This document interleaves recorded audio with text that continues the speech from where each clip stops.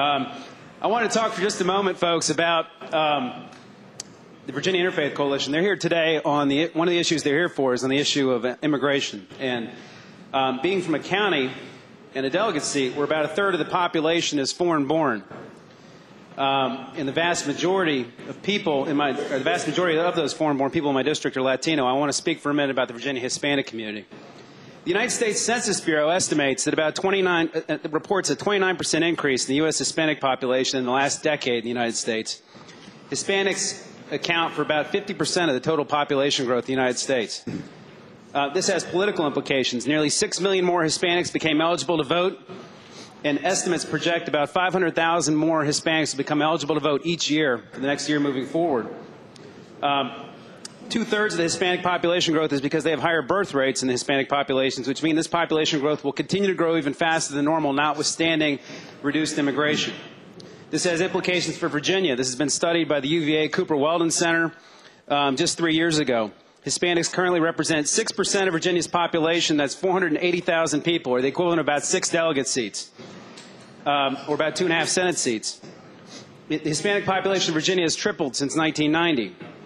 Fairfax County is home to about 25% of the Hispanic population in the state. Many of those folks live in my delegate seat. Hispanics now represent about 2% of Virginia voters in the 2008 election. 60% of Hispanic immigrants are U.S. citizens. 50% of them are under the age of 20, and those folks are going to continue to register. Virginia Hispanic citizens are overrepresented in the United States military, folks.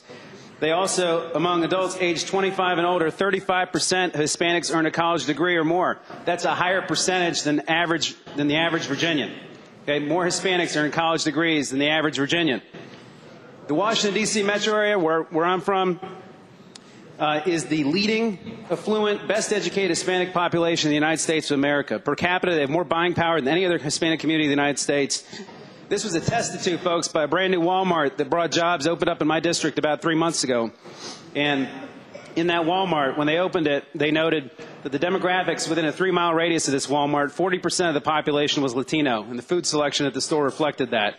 They brought bilingual signs to the store, and they also committed over 40 feet of shelf space to, his, to, his, to Latino foods instead of the normal um, four feet. Now let's talk about business for a minute, folks, because I know that's a big focus of us here. According to the 2006 census, Hispanics are opening businesses at a rate of nearly three times greater than the national average.